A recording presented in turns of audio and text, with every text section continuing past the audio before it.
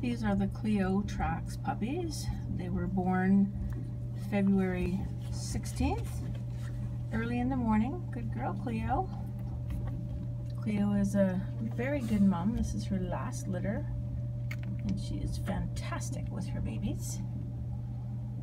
She delivered three boys in a row, freaking me out a little bit because I wanted to keep a girl, but then she followed the three boys up with three girls. So we have six puppies in total, three boys and three girls. So let's introduce them to you. Mm-hmm. Red collar. This is one of the girls.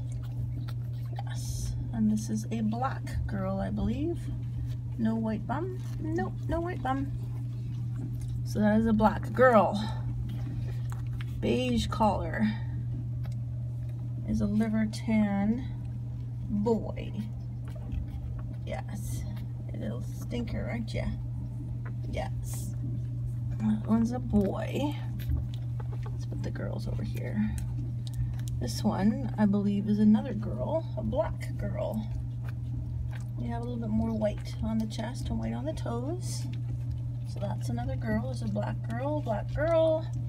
And this one I'm pretty sure is the liver tan girl, purple collar. Yep, you're the other girl. And now there's another liver tan boy in the litter, a little one, little guy. Hey, mister. Hi, boo. And last but not least is the only parti in the bunch. And he is a black and silver parti, I believe. Very pretty face you have. Yes, you do. So there are, these are the three boys right here. Liver tan, black and silver parti liver tan. And then the girl is black, black, liver tan. Let's put you guys back there. So there you go. There are the Clio Trax puppies just hours old.